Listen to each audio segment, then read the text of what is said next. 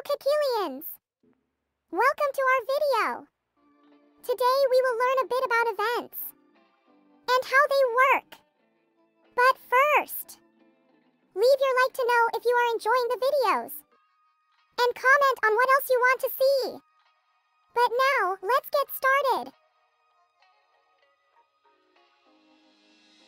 Let's look at the guiding arrow and see what it tells us. It looks like Maydina is calling us for a consultation. Let's follow the guiding arrow to her. To get to it is very easy. Just head north from the port of Kebalesa. This is her home. Since it is an event, we need to activate it first. In Medina's case, just knock on the door. But beware! After the event is activated, have to wait a certain amount of time to activate the event again.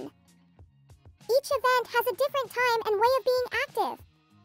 You can see the remaining time by the amount of purple flames next to the event. Each purple flame represents the duration of one hour. When there are no more purple flames in the event, you can activate the event again.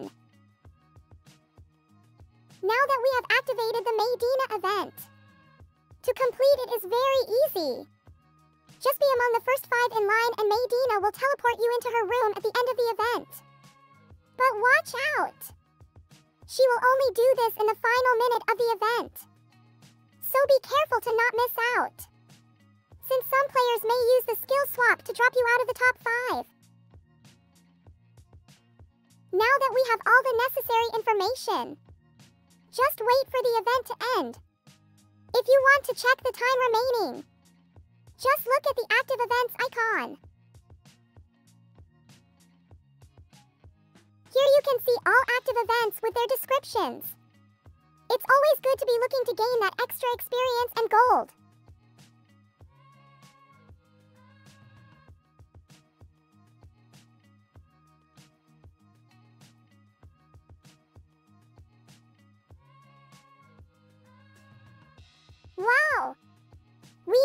Into Maydina's room. Now comes the best part. Just talk to her and you will receive the experience and the event gold. If you want to do it again, you will need to wait for the purple flame to go out.